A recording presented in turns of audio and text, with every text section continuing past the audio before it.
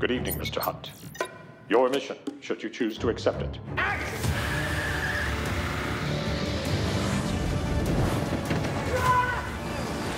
God. The mission in Mission Impossible is to recover three plutonium cores before they can fall into the hands of a terrorist known only as John Lark. Kill them. For all the MI fans, it really is a culmination of every film. The end you always feared is coming. Every mission has led to this one. The fallout of all your good intentions. The book, The Odyssey, was chosen for a very specific reason. The journey that Ethan Hunt and his team go through, it is an odyssey and definitely reflective of that story. It's an epic tale, it's a personal tale, and there's incredibly huge stakes. Ethan has walked into a situation beyond his control, and as hard as he tries to control that environment, he has to go through this story even though he knows he's being manipulated. At the very beginning of this project, I went to Tom and said, if you could only do one thing in this movie, what would it be? He said, I want to tie up the story of Ethan and Julia. That made me really excited because the love story felt unresolved. We wanted to bring that back, that emotional journey of his past that's going to now come to the forefront. I'm so sorry. I'm so sorry. One of the very interesting things in Mission Impossible is the team of actors. Doesn't everybody want to be a part of the IMF? It's the impossible mission for us. Ethan, the countdown has started. We have 15 minutes. I work with people that I admire, people that I respect, and I love these actors and I love these characters. The IMF team in this movie is comprised of Ethan Hunt, Benji Dunn, played by Simon Pegg, Luther Stickell, played by Ving Rhames, and Ilsa Faust, played by Rebecca Ferguson. Bringing the team together is a real challenge. The story seems to scatter them. It's very rare where you find moments where you have the whole team together right before the car chase kicks off. They all end up in a cart. We were hurtling around Paris. I'm in the back with Ving and Henry, both of whom are large men. Was the little car your idea? At one point, Henry decided he didn't want to ride back in the car because it was quite cramped, so he, he said, I'll, I'll run up there. And we just drove the car next to him running, and I sang the Superman tune out the window. Henry Cavill, who plays Walker in the film, is something of a wild card in our story. He's the director of the CIA's number one assassin. He goes and takes out people who you can't capture. I just thought this guy is really talented, and he came to this film and he really brought it.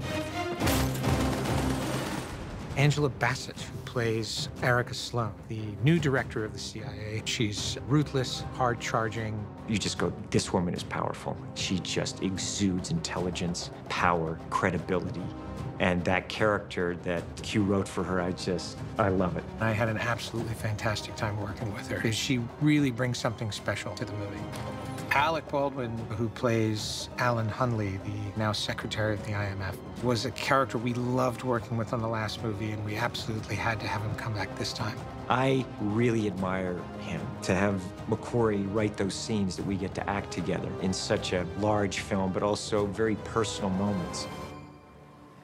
I'm sorry, sir.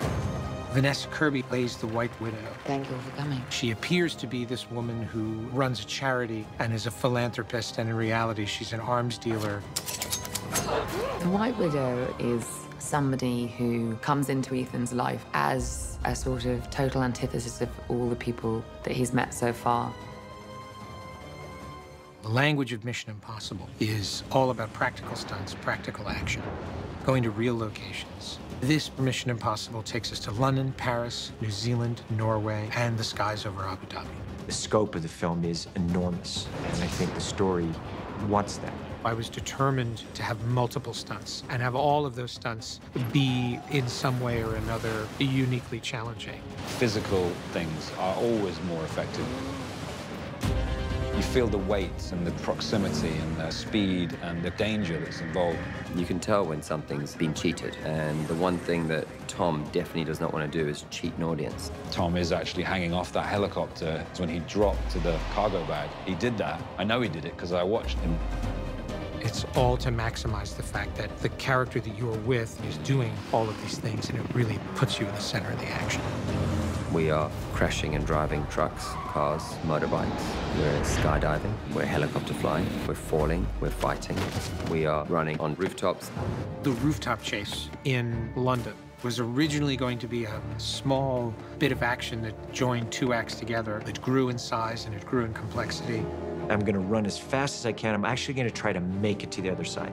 First two takes, I went in quite hard and it knocks the wind out of you, but it looked cool. So I was like, all right. He really wanted to stretch it out and make it look great. Put my foot out literally for a split second to try to soften the impact just a hair. It put pressure on his foot and snapped it. I looked down. He knew he had broken his ankle. I crawled over the wall just to get past camera because I knew this is the take. First thing he did was turn to the camera operator and say, Did you get that? The shot of Tom breaking his ankle actually made it into the film. Tom, being such an athlete, is aware of what it takes to do what he's about to do. Tell me what I could climb, guys. People think that he's reckless, and he's not. He's incredibly safety conscious. Nothing would ever happen on set if he wasn't 100% sure that it was safe and doable. Tom is never just flying a helicopter or riding a bike or driving a car. He's giving performance as Ethan Hunt. To be able to give character whilst doing it at that level is what separates him. Action, Tom. This film is shot on both film and digital. I'm a huge lover of film and do everything I can to preserve it. At the same time, I'm not an absolutist. There were certain sequences where film just wouldn't have been practical. And we've also had the benefit of shooting IMAX format, and shooting in the large screen format like that has you rethinking the way you frame shots and the way that you present action. There are two IMAX sequences in this film, the helicopter chase and the halo sequence. I wanted the audience to have the biggest experience they possibly could. It was just really important to me that you saw it in all of its vivid reality. We want to look at things and see how, in every way, can we create a movie that is elegant, that is entertaining, that is gripping, and use all of our skills as filmmakers. And it challenges every department. This has been a really long shoot. We will have been in principal photography for 12 months. Mission Impossible films, they're not easy to make. And I tell everyone when we start out, it's something that we're discovering the story as we go along. It's been a real journey. And what I like the most about this is that despite the long hours and the hard work, everyone has kept a wonderful personality about it. The energy and the work ethic is all positive. It's such hard work, but there's an exhilaration also. The fact that Tom is also the producer of the franchise, he comes to it with a global understanding not just of filmmaking, but of what makes Mission Impossible Mission Impossible. This franchise is his baby, and whatever he does in front of the camera or behind the camera, he takes very seriously. He's completely dedicated. For me as an actor, he knows my strengths and weaknesses. Don't you do it, Ethan. Not for me. I learned so much. Just seeing how he runs a set and how, how much he asks of people in a really wonderful way. Nice job, guys. Thank you all. One of the signature elements of the Mission Impossible franchise is that there is a different director for every single movie. That's good right there. Tilt down just a little bit. And when Tom asked me to come back and direct this one, I said I'll do it on the condition that I can maintain that aesthetic. It has to feel like a different movie. It can't feel like a continuation of the last film. That involved an almost universal rethinking of my key crew. What was essential to that was the cinematographer. In terms of the look of the film, it's 180 degrees different from the last movie. The visual style is different. It still has his bold sensibility of storytelling. He really is just enormously talented.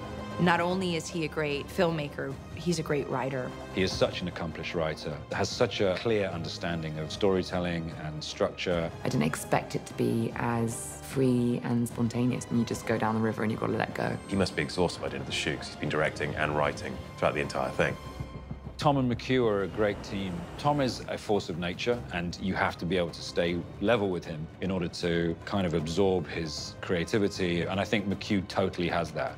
We share the same sensibility in storytelling and style. I just really have such admiration. We figured out recently that we've worked on nine films together in 10 years.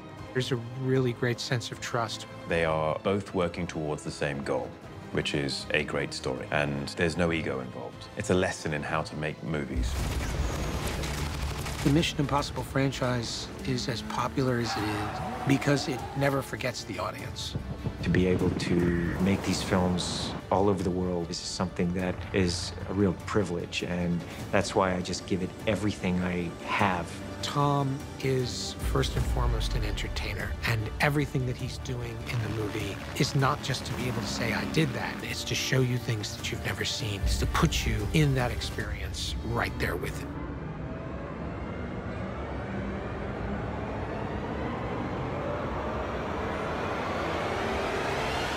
It's another great installment in what has become a really beloved, long-running story.